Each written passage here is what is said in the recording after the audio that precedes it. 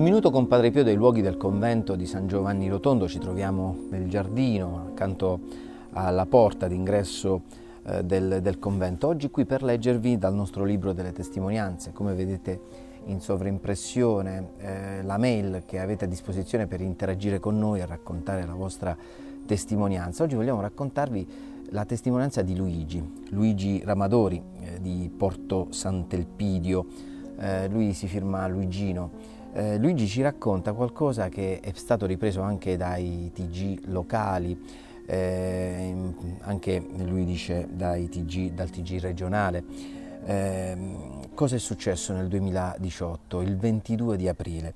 Una domenica piena di sole, mio figlio Francesco era in località Bolognola sull'Appennino Umbro-Marchigiano, proprio per una passeggiata tranquilla insieme al suo amico Ugo. Mentre stavano percorrendo un tranquillo sentiero circa, a circa 1400 metri di altezza, Francesco venne a mancare improvvisamente il terreno sotto i piedi, forse a causa di infiltrazioni dell'acqua, scrive eh, Luigino. Eh, perde l'equilibrio, scivola e cade.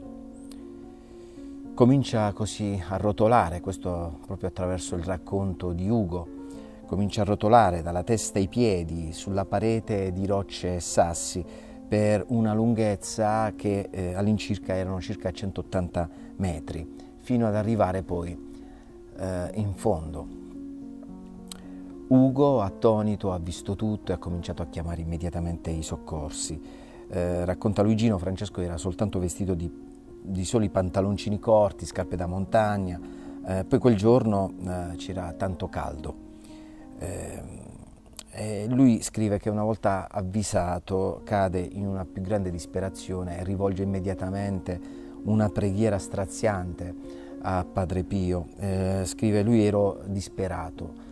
Solo 45 minuti più tardi eh, Francesco, ad opera di due elicotteri del soccorso alpino di Pescara e dell'ambulanza dell'ospedale di Ancona, è stato recuperato. Al pronto soccorso giungeva verso le 17.30 dopo essere stato sottoposto per tutto il giorno. Poi agli accertamenti eh, venivano registrate soltanto alcune escoriazioni in varie parti del corpo, senza alcun'altra importante lesione. Un miracolo, mio figlio è vivo.